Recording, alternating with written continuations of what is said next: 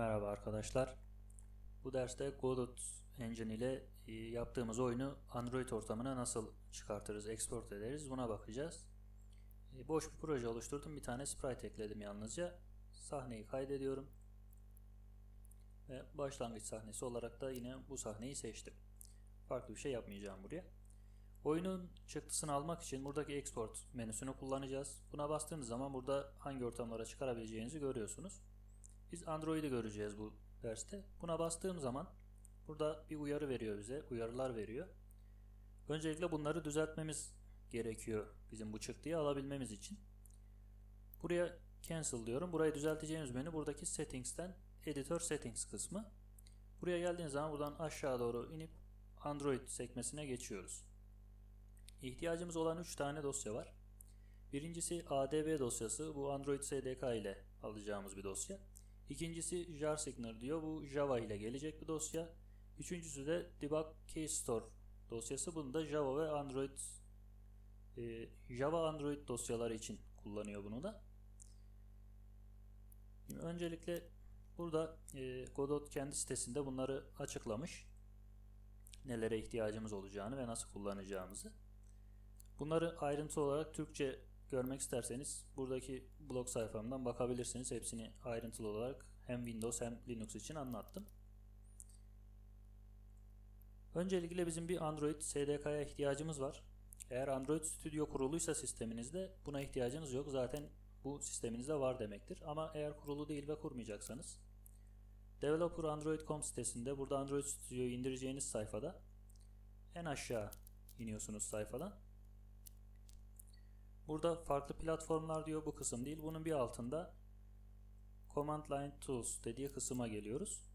SDK araçları buradan indiriliyor. İşletim sisteminize göre birini indiriyorsunuz. Ben şu an Linux'ta çalışıyorum. Şu dosyayı indirdim. Windows'ta çalışıyorsanız bu dosyayı indirip kurulum yapıyorsunuz. Şu dosya kurulumsuz. Yalnızca e, dosyaları klasör olarak veriyorsa kuruluma gerek kalmıyor burada. Direkt dosya içinden kullanabilirsiniz. İkinci olarak ihtiyacımız olan şey OpenJDK ya da Oracle JDK. Bunu Java'nın sitesinden, Oracle'ın sitesinde Java'dan bulabilirsiniz. Buradaki download sekmesine tıklayın. Ardından sisteminize göre üst taraftan buradan önce lisansa kabul etmeniz gerekiyor.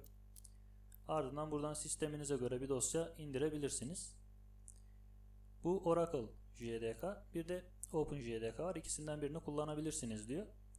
Ee, ben OpenJDK'yı kullanacağım. Ardından ihtiyacımız olacak diğer bir şey Debug Keystore dosyası. Eğer daha önce Android e, uygulama geliştirdiyseniz farklı bir ortamda Android Studio'da ya da Eclipse'de bu dosyanız hala hazırda vardır sizde. Eğer geliştirmediyseniz buradaki kodu kullanarak yine biz oluşturacağız bu dosyayı. Ee, bir başka ihtiyacımız olacak şey de yine Godot'un kendi Godot Engine org sitesine giriyoruz. Burada download sekmesine gelin. Burada export templates kısmı var. Buna tıklayın. Bu dosyayı indirmemiz gerekecek. 166 MB'lık bir dosya. Başka ihtiyacımız olan bir şey olmayacak. Ben yeniden Godot'a geçiyorum. Öncelikle burada ADB dosyasını alacağız. Buradaki klasöre tıklayıp File tuşuna basın. Ben daha önceden e, Android SDK, Linux yalnızca SDK'yı indirmiştim. Burada SDK'ya giriyoruz. Platform Tools'un içinde ADB dosyası var. Bu Windows SDK içinde aynı yerde. Yerleri farklı değil. ADB exe dosyası var Windows'ta da onu seçmeniz gerekiyor. Buradan Open tuşuna bastım. Bu dosyayı seçtim. İkinci olarak jar signer dosyası. Bu Java dosyamız. Buradan yine File tuşuna basıyoruz. Geri çıktım. Burada heh, ben daha önce JDK'yı indirmiştim. Bu JDK klasörünün çıktısının içinde klasöründe bin klasörüne giriyoruz. Burada şu jar signer dosyasını seçiyoruz ve open. Üçüncü olarak bizim bir debug key store dosyasına ihtiyacımız var. Bu dosyayı oluşturacağız demiştim. Masa üstüne geçiyorum. Şuradan. Bunu oluşturmak için girmemiz gereken kod şurası kendi sitesinde verdiği kod, kodotun. E, bunu girdiğiniz zaman böyle bir hata alabilirsiniz Linux'ta. Bunun için bir kurulum yapmanız gerekiyor demektir. Bu da kurulum olarak şunu kurmanız gerekiyor. Open JDK 8'i kurmanız gerekiyor. Bu kurulum bittikten sonra yeniden aynı komutu verdiğiniz zaman bir dosya oluşturacak. Bu dosyayı nereye oluşturacak? Bu dosyayı başlangıç klasörünün içerisine oluşturacak. Gizli dosyaları göndereyim. Buradaki kodu aynı şekilde yeniden giriyorum ben.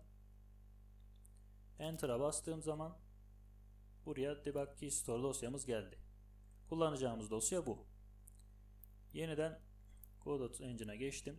Debug key store dosyamız içinde yine klasöre bastım ve file'a bastım. Ee, bunu başlangıcın içerisine oluşturmuştuk. Oraya geçiyorum. Debug key store dosyamız burada. Bunu seçtim ve yine Open'a bastım. Burada dikkat etmemiz gereken bir şey var. Burada oluştururken girdiğimiz komutlar içinde bir Android Debug Key kısmı var. Bir de şöyle genişleteyim. Daha rahat görelim. Android Debug Key var. Bu buradaki Key Store'un user'ı, kullanıcı adı. Bir de burada KeyPass kısmı var. O da yalnızca Android. O da buradakiyle aynı. Bu zaten varsayılan olarak bu şekilde veriyor Godot bunu ama farklıysa burayı düzeltebilirsiniz. Bu ayarları bitirdikten sonra buradaki close butonuna basın. E, şu çarpıdan kapatmayın. Farklı e, hata alabilirsiniz bu durumlarda. Bu tuşa basmadan onaylamıyor buradaki değişiklikleri. Close tuşuna bastım. Yeniden export'a geldim. Android seçtim. Hata sayısı 2'ye düştü. Bu e, export templates'i bulamıyorum diyor. Bunu indirip buraya yüklemen gerekiyor diyor. Yine cancel tuşuna bastım. Burada settings'te install export templates var. Buna basıp e, indirdiğimiz export template dosyasına gitmemiz gerekiyor.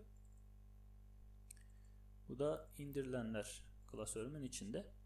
TPZ uzantılı bir dosya. Bunu seçip open diyoruz. Bunları yüklemeye başlıyor. Çıktı alacağımız her ortam için ayrı bir export template dosyası yüklüyor buraya. Bu işlem de bittikten sonra yeniden export tuşuna basıyorum. Android seçtim. Artık bir hata yok burada gördüğünüz gibi. Hiçbir uyarı yok. Yani işlemimiz tamam. Şimdi yapmamız gereken şey buradan istediğimiz ayarları değiştirmek. Buradaki ayarların hepsini tek tek girmeyeceğim. E, oyununuzun versiyonunu buradan değiştirebilirsiniz. Önemli olan kısımlardan birisi şu package kısmı. Burada unique name e, benzersiz bir ad oluşturmanız gerekiyor oyununuz için. Bunun oluşturulma şekli genelde buradaki düzende. Burayı org'la ya da com'la başlayabilirsiniz. Önemli değil. com nokta e, size ait benzersiz bir isim girmeniz gerekiyor buraya. Örneğin ben böyle ACT olarak giriyorum. Yine bir nokta ve oyununuza ait bir isim girmeniz gerekiyor şimdi de. Ben şimdilik böyle giriyorum. Enter tuşuna basıp onaylıyorum bunu. Name kısmı oyunumuzun adı. Oyunumuz yüklendiğinde çalışırken e, Android cihazlarda ne olarak görünecek adı? Burası oyunumuzun adı olacak. Yine Enter ile onayladım. Ve oyunumuz için bir ikon seçebiliyoruz burada. Bu varsayılan olarak Godot'un kendi ikonu. Yine bu klasör dosyasına basıp file'a basıp istediğiniz bir ikonu bu resource'un içine attıktan sonra seçebilirsiniz burada. Şu an varsayılan olarak bunu kullanacak. Bunun haricinde burada permissions dediği kısım izinler. E, oyun ya da program yüklerken Android cihazlar bazı izinler sorabiliyor program ya da oyunun kullandığı şeylere göre. Örneğin siz bir hesap yöneticisi kullanacak mısınız oyununuzda ya da Wi-Fi kullanacak mısınız? İşte Bluetooth kullanacak mısınız? Kamerayı kullanıyor musunuz oyununuzda gibi bunları seçmeniz gerekiyor. Eğer oyun içerisinde kullanıyorsunuz ama buradan seçmediyseniz e, oyununuz yüklenirken hata verebilir. Hatta büyük ihtimalle verecektir hata. Buradaki ayarlarınızı da bitirdikten sonra bu export tuşuna basacağız. Buradaki ortadaki tuş bunu bütün proje dosyalarınızı bir paket olarak zip halinde çıktısını veriyor. APK olarak çıkartmak için bu export tuşuna basmamız gerekiyor. E, burada öncelikle e, proje dosyanızın içerisine çıktı alamıyorsunuz. Böyle bir durumda uyarı veriyor zaten. e, bir uyarı verdi. Farklı bir proje dosyasının dışında bir yere çıktı alın diyor. Buradan geri çıktım. Godot'u çalıştırdığınız klasörün içinde de yapmayın bunu. Ben başlangıç klasörümün içine geçip burada bir isim veriyorum. Burada sonuna APK yazmanız gerekmiyor. Direkt bu şekilde bırakabilirsiniz. APK'yı ekleyecektir. OK tuşuna bastığınız zaman çıktıyı almaya başlıyor.